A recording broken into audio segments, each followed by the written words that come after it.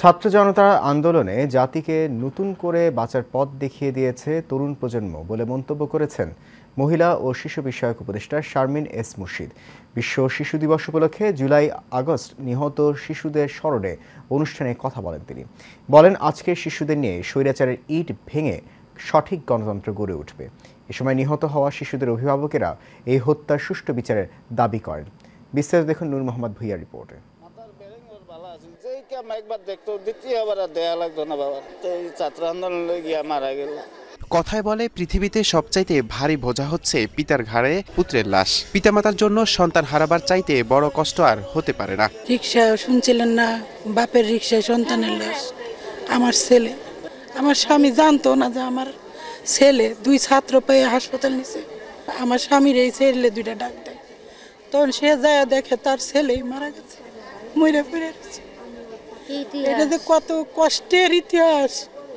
এটা আমার স্বামী জানে আর আমি জুলাই আগস্টে ছাত্র জনতার উপর হামলায় মারা যায় বেশ কয়েকজন শিশু। যাদেরকে ঘিরেই হাজারো স্বপ্ন বুনেছিলেন বাবা মা। দেশকে রক্ষা করতে থমকে যায় সেই স্বপ্ন।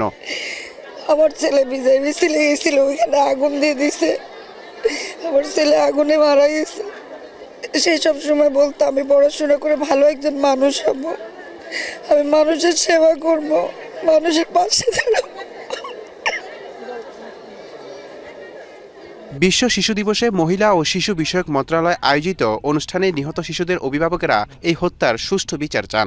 অনেকটাই চাওয়া এই হত্যাকাণ্ডের সাথে যারা জড়িত তাদের প্রত্যক্ষ বর্গ যারা জড়িত প্রত্যেকের উপযুক্ত শাস্তি চাই সুস্থ তদন্ত করে তার বিচার চাই যে কারা এই কাজটা করল।